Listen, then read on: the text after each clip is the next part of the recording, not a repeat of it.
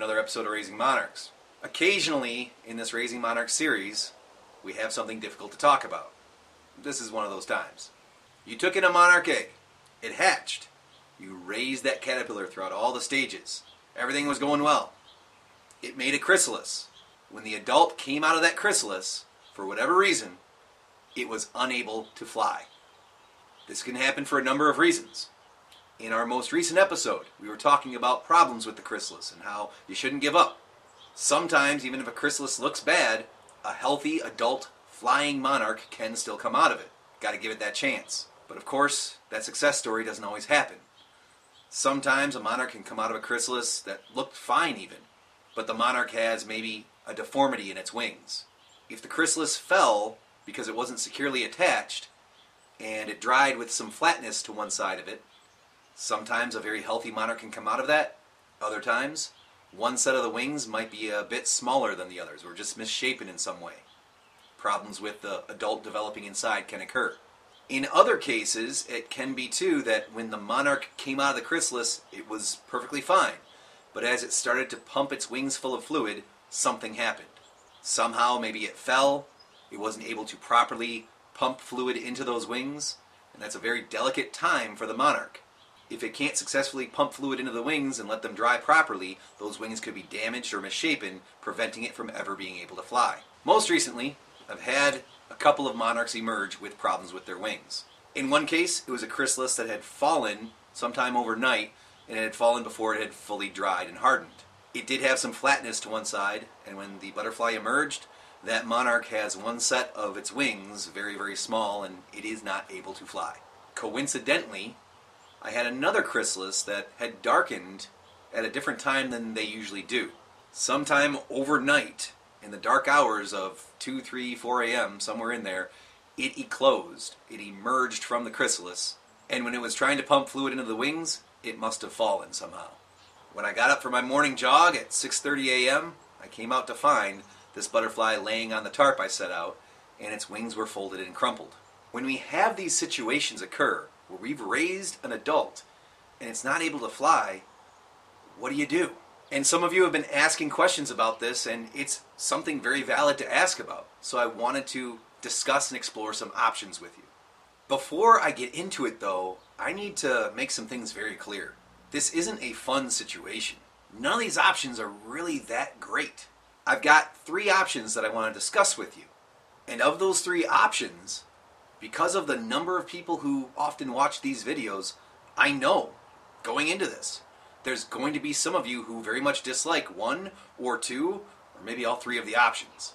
I understand that. It's just not a good situation to be in anyway. But the reason I've chosen these three to discuss is because they all have some grounding in logic. So as you watch the rest of this video, please keep the following in mind. First, I am not advocating for one of these options above the others. I'm just trying to let you see and discuss and think about what the options are.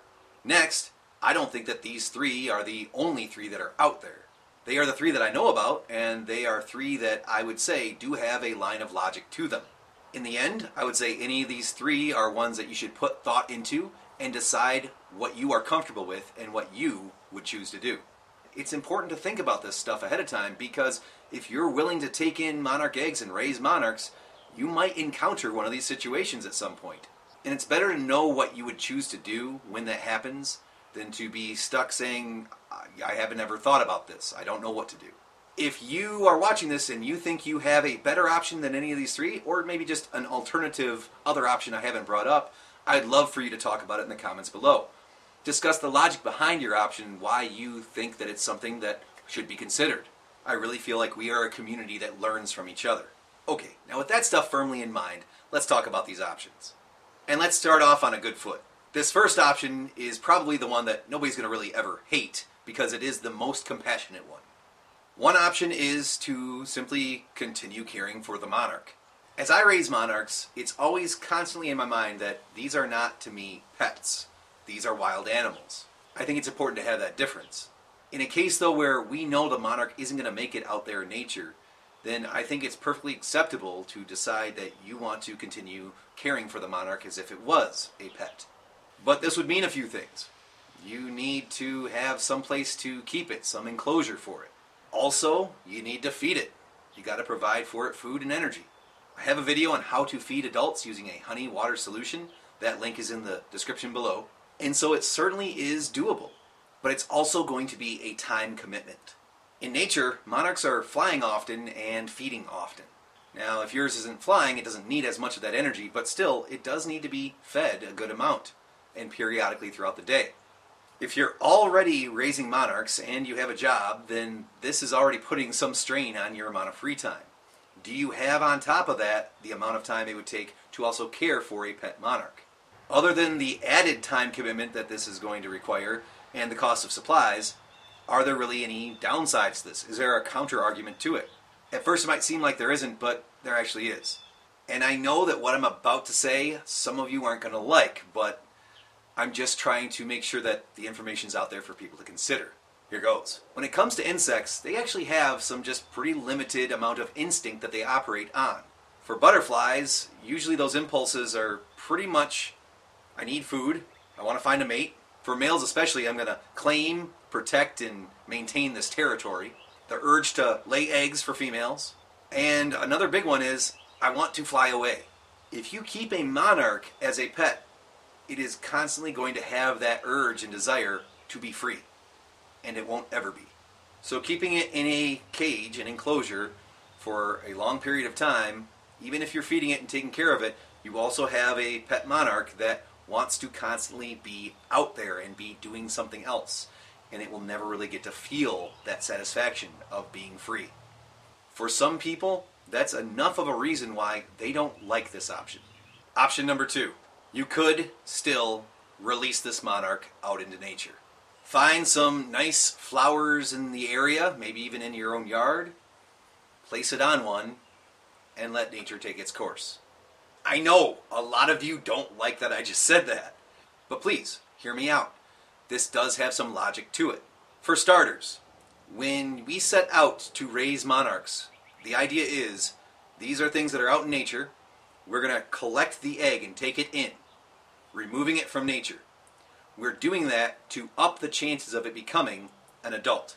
We put in our time and effort to feeding it and caring for it, and then once it emerges as an adult, the plan always was to then release it.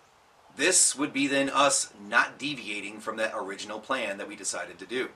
And keep in mind, it was quite possible that if this was a deformity in the wings, or if this was due to the animal falling while it was pumping fluid into its wings, well, those two things could happen in nature just fine. When it comes to monarchs and their coloration, that orange and black, and also the black and yellow stripes that they have as a caterpillar, are warning signals to predators that I taste nasty. That nasty taste doesn't really work with reptiles, amphibians, and other insects, but with birds and mammals, they taste pretty foul. The thing is, though, there's a misconception here, and it's one that I even had too until I learned a lot more. You hear that the monarch is poisonous to birds, and so they are going to try to avoid eating it. The thing is, some species of birds, they do have that instinct to just stay away no matter what anyway. But for a lot of species of birds, entomologists who study monarchs and ornithologists who study birds both agree that for a lot of species, this is actually a learned behavior to avoid them. Plenty of species of birds don't just come out of the egg knowing to not bother to eat a monarch.